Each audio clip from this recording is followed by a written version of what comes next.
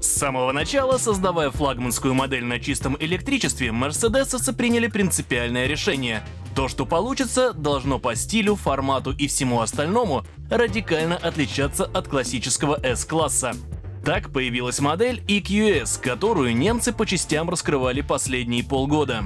В основе новинки лежит свежая модульная платформа MEA. Соответственно, как это сейчас принято, корпус тяговой батареи является частью силовой структуры кузова.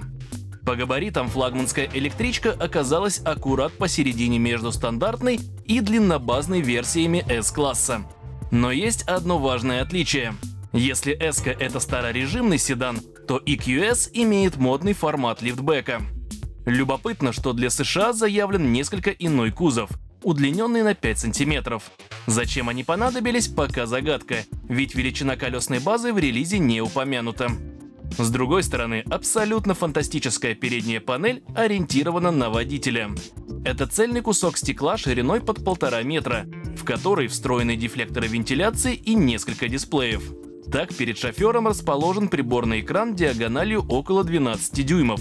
По центру тачскрин на 18 дюймов, а еще один сенсорный дисплей адресован пассажиру, чтобы тому было чем заняться во время поездки. Немцы сразу уточнили, что гиперэкран будет опцией.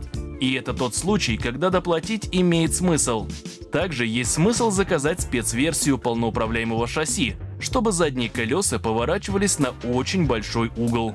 А вот брать ли двухмоторное исполнение – вопрос спорный. Оно заметно мощнее, но отличается меньшей дальнобойностью, чем одномоторный вариант. Так, для заднеприводной машины анонсированы аж 770 км на одной зарядке. Притом, если найти мощную 200-киловаттную зарядку, то залить энергии на 300 км пробега реально за четверть часа. При таких водных наверняка найдутся экстравагантные миллионеры, готовые распробовать новый формат вместо обычного S-класса.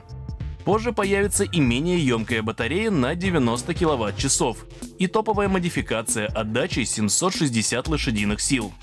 Продажа неординарной пятидверки стартует ближайшей осенью, а к концу года модель доедет до нашего рынка. Притом российской публике адресован лишь самый мощный вариант лифтбека. Прайс-листы, скорее всего, будут опубликованы пораньше.